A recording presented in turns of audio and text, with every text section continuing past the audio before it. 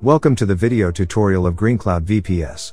Today, we will show you how to net framework installation error 0x800F0906 on Windows Server 2019-2022.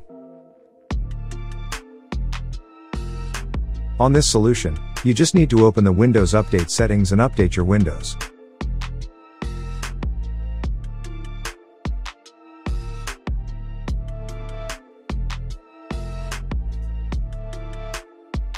Download the Net Framework Repair tool from the Microsoft Download Center. Then, run the tool and follow the on-screen instructions to repair the Net Framework installation.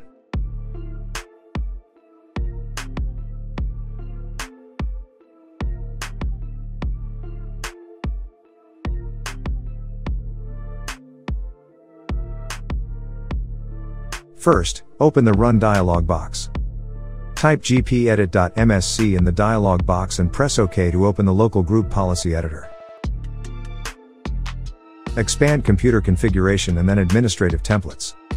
Select system. Open the specify settings for optional component installation and component repair group policy setting and click on enabled.